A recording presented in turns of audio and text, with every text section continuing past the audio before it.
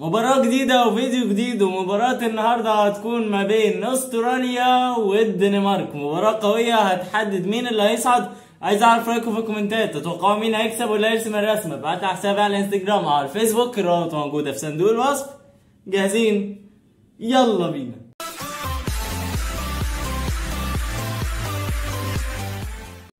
رسمة جديدة وفيديو جديد ومباراة جديدة. مباراة النهاردة قوية أوي ما بين أستراليا والدنمارك. الدنمارك فريق قوي وأستراليا برضو عندها لعيبة قوية أوي. فهتبقى مباراة من الطرفين قوية. عايز أعرف تتوقعوا مين اللي هيكسب أستراليا ولا الدنمارك؟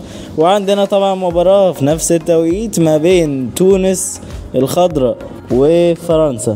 مباراة قوية أوي برضو تونس لازم تكسب عشان تتأهل. لازم تكسب منتخب فرنسا. هنشوف هل منتخب فرنسا هيلعب بالتشكيل الأساسي بتاعه باللعيبة الأقوياء بتوعه كلهم ولا هيريح ناس لأنه ضامن التأهل. زي ما أنتم شايفين النهارده هنرسم علمين استراليا والدنمارك. هنعمل مستطيلين زي ما أنتم شايفين وبعد كده نبدأ نرسم علم استراليا وعلم الدنمارك. هنبدأ أول حاجة نعمل خط بالعرض كده زي ما أنتم شايفين ويكون مفصول من النص. وزي ما أنتم شايفين الفاصل ده اللي إحنا هنعمل بيه الخط اللي بالطول وبنكمل وطبعا الخط اللي بالطول هيكون مايل لناحية الشمال مش في نص العلم بالظبط بالطريقة دي. وطبعا بنخطط تخطيط خفيف عشان ما يسيبش أثر على الورق لأن التخطيط تقيل. لو جينا مسحنا أو نيجي نعدل أي حاجة فهتلاقي القلم الرصاص لسه معلم على الورقة مهما مسحت. فعشان كده دايما بقول لكم خففوا ايديكم وانتوا بترسموا في التخطيط. يعني خففوا أكتر من اللي أنا أصلا برسم بيه قدامكم عشان أنا برسم بوضحه شوية عشان الكاميرا عشان التصوير. ولكن أنتوا ما بيكونش في تصوير فتقدروا تخففوا أكتر من كده. زي ما أنتم شايفين كده إحنا عملنا يعتبر علم الدنمارك. هنخش بقى على علم استراليا طبعا علم استراليا معروف إن هو من أصعب الأعلام ولكن يعني مش أصعبها ولكن من أصعب هو علم ويلز وعلم آه استراليا وعلم ويلز وعلم ممكن كمان وعلم أمريكا. برضو دول من الأعلام الصعبة شوية ولكن طبعا بنسهلها على قد ما نقدر ونخليها بسيطة جدا جدا جدا. زي ما أنتم شايفين بنعمل شكل بقى علم استراليا عملنا مربع فوق على الشمال كده أو مستطيل وبعد كده نعمل خط بالطول وخط تاني بالعرض وخط مايل من ناحية اليمين وخط مايل من ناحية الشمال. وطبعا الخطوط دي هنلونها باللون الأحمر من النص يعني هيبقى من الطرفين أبيض وفي النص أحمر. هتشوفوا هنعملها إزاي لما نخش في مرحلة التلوين. طبعا اللي مش مشترك يشترك في القناة هانت خالص ونوصل 12 ألف مشترك.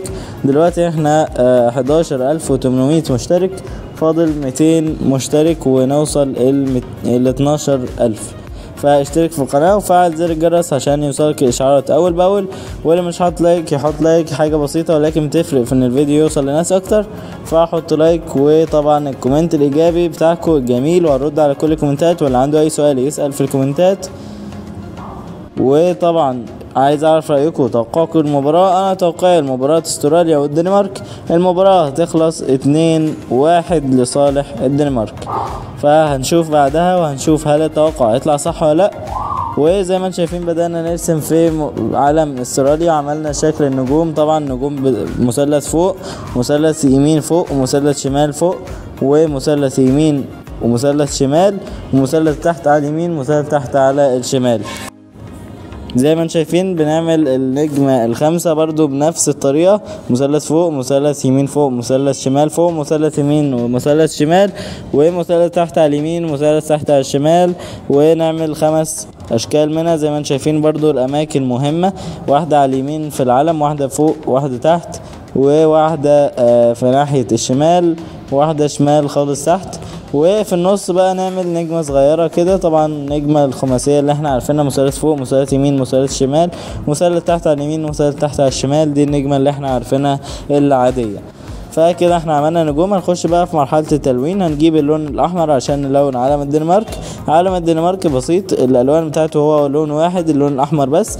بنلون بالمربع اللي فوق على اليمين والمربع اللي فوق على الشمال. المربع اللي تحت على اليمين والمربع اللي تحت على الشمال. وطبعا علم استراليا برضو هيكون باللون الأحمر ولكن أحمر وأزرق. دي الألوان بتاعت علم استراليا. طبعا بنعمل مستطيل باللون الأحمر يكون في النص في المستطيل اللي إحنا عملناه بالطول.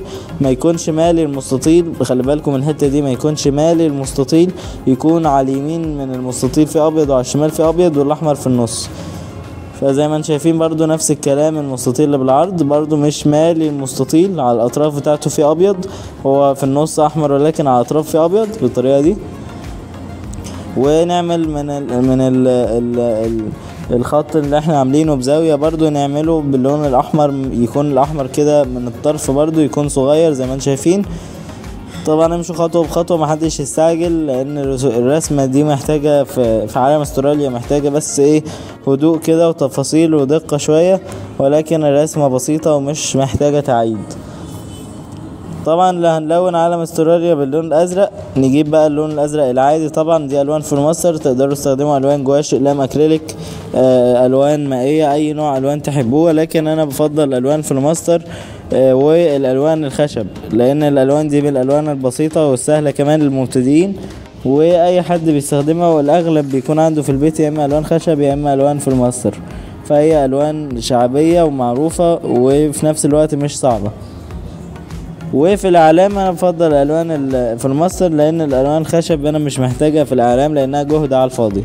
يعني الألوان الفلوماستر هت- هتفي بالغرض وفي نفس الوقت هتملى مساحة أكبر فمش هتتعبني. لكن الألوان الخشب هتحتاج مجهود في الضغط على القلم وسنها رفيع فهتاخد وقت ومجهود أكبر.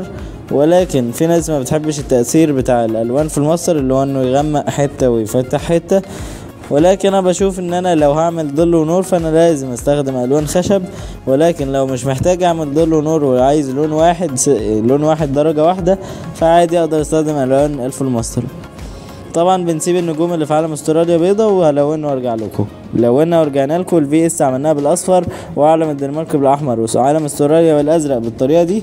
ودي كانت رسمة النهارده مستني رأيكم في الكومنتات وتوقعكم المباراه وما تنسوش ال like واشتركوا في القناة وروحوا اعملوا لي follow على الإنستجرام وعلى الفيسبوك. الروابط موجودة في صندوق الوصف.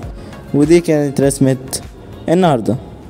ده كان فيديو النهارده. أتمنى الفيديو يكون عجبكم. لو عجبكم الفيديو like و share واشتراك في القناة وتفعيل زر الجرس. مستني أشوف تطبيقاتكم على الرسمة في صندوق الوصف. هتلاقوا موجود الانستجرام والفيسبوك. خشوا وابعتوا الرسومات وأقول لكم لو في أخطاء. وهنشجعكم وهشير رسوماتكم. فأشوفكم الفيديو الجاي.